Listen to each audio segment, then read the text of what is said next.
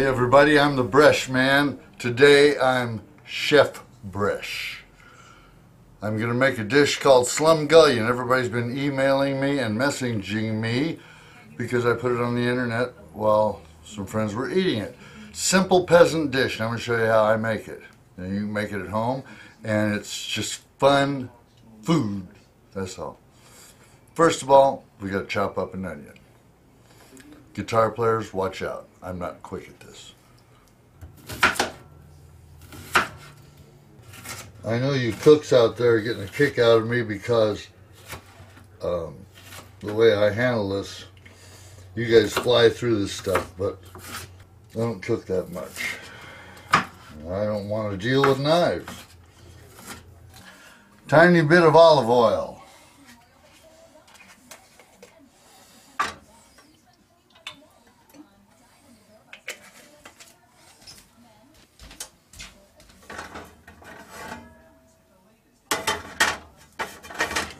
Now we'll bring over the onions.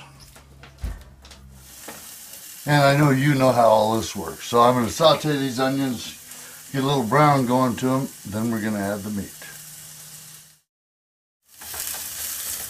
The onions are looking pretty good. I'm down one notch from high heat, by the way. Saute this. Brown the meat, same way. Pound and a half of ground round ground sirloin. Let's throw it in there. Yeah.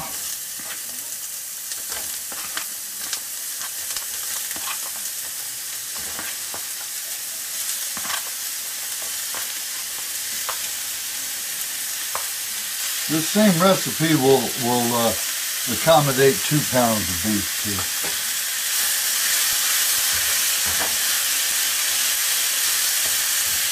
Starting to sing, isn't it? You hear it? Mm.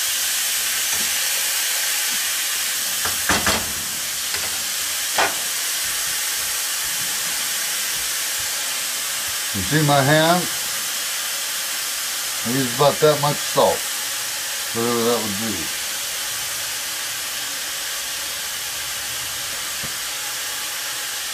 You can always salt it yourself later.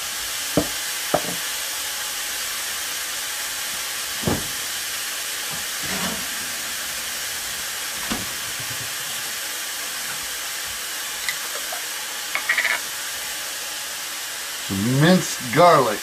I like minced garlic, so we're going to put that much of it in there. Since we're killing this little jar, I may add just a little more too. I like to give like two teaspoons of this minced garlic.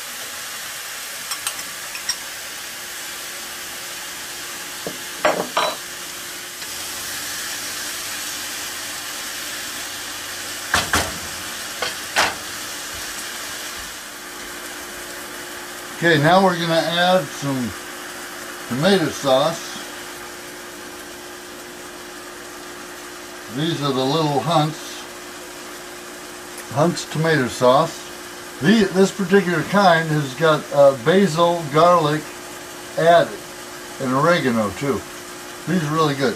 Dump it in, three of these little cans. Don't throw the cans away yet.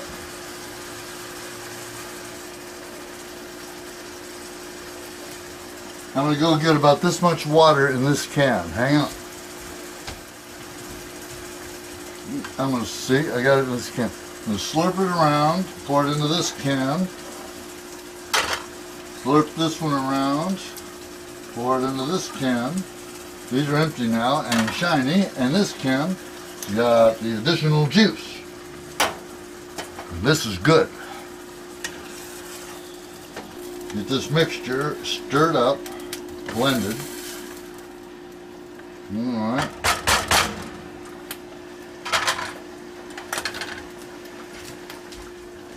Now, here's what we're going to do.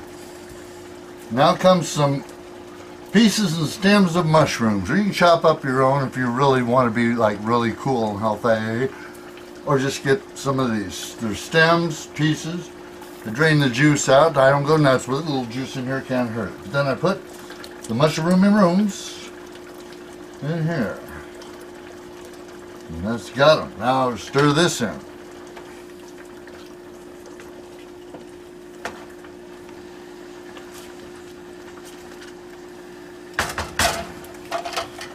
I noticed, I noticed that I'm out of, uh, I don't have any more minced garlic. But I get some garlic powder and I'm going to put some of that in here.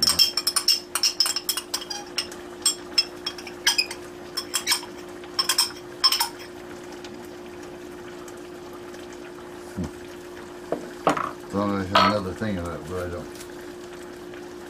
I do have some fresh garlic. Maybe I, I will put that in. I will. I'll, little clove of it, you know, about like so. Chop it up. I'm going to throw it in there. Ah, doesn't that look good?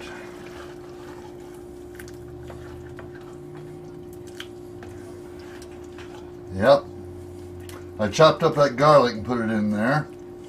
And I sprinkle a little garlic powder over the top to make up for the lack of another tablespoon of my minced garlic. So I'm going to let it uh, sit here and uh, cook, bubble, stuff like that. Things that hot foods that are cooking like to do. I'll do that about 15 minutes and I'll stir it every few minutes. Then I'm going to send it down to low, cover it, and wait for the arrival of my lady friend. Doesn't that look larapin good? Mm-mm-mm. Boy, I'll tell you.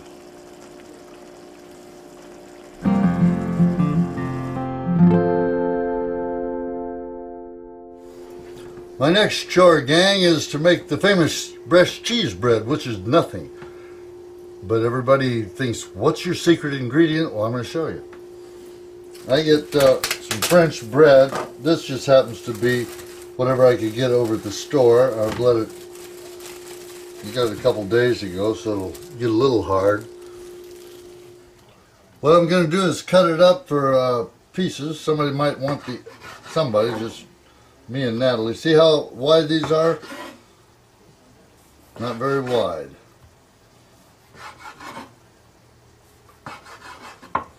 That's really enough for us. It's just us.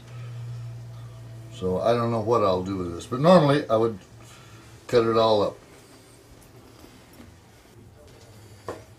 Okay, time to bring in what I'm going to put into the broiler in the oven. Put these all over here, face up, like so.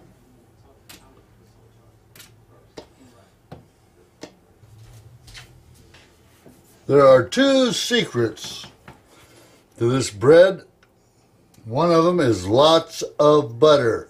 You don't just tap it on there. See, that's part of what everybody's tasting. So much butter this is? Watch.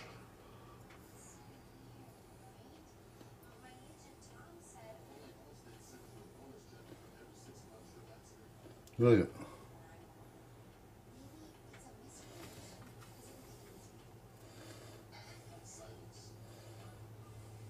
You don't want to get it all rubbed in, you know, spread it on.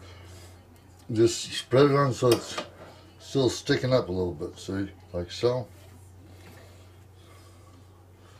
Almost so it looks kind of like a icing on a cake.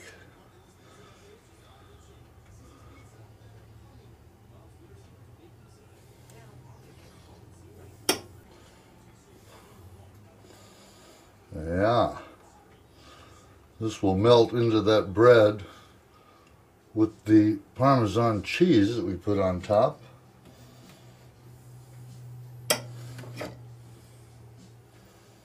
All right, so now it's got butter. Now we put on the Parmesan cheese. This is the stuff I like. Kraft Parmesan cheese. I try the fresh Parmesan. It doesn't taste the same. It doesn't melt the same. And uh, I like this stuff. And I put it on Look. A mound of it on each one.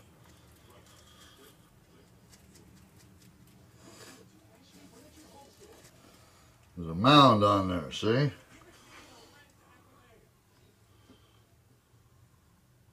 don't know if you can see it or not. Now for safekeeping,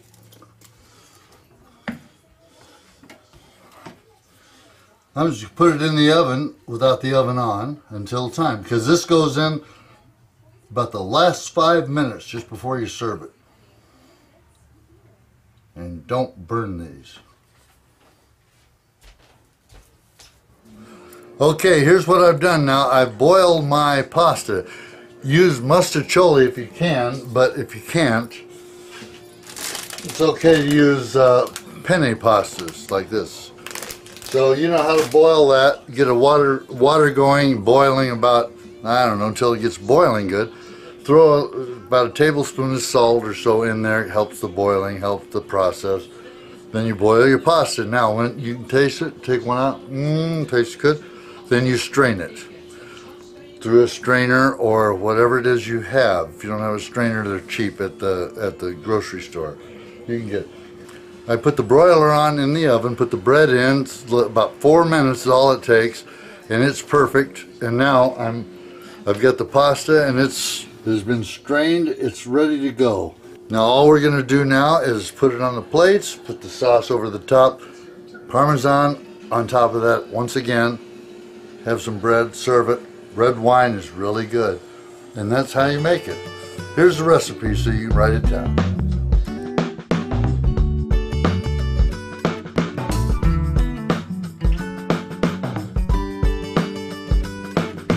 Then I'll get this beautiful hot babe right here to taste it. Yeah. She won't lie to you. She better lie and say it's great. But here, I got to do it now. Can't talk. Love you, bye. There it is, finished. And drink. That's the category for this round, and, and I could use some. And, It's uh, good. Surprise puzzle. Bam, come on. There it is. That's the finished product. Enjoy, make it. It's a lot of fun. You can make it for as many people as you want. It's quick, it's easy. It's a peasant dish. Come on. Nothing to it. That's it. I'm Chef Breshman for the night, and that's all I got. BD TV.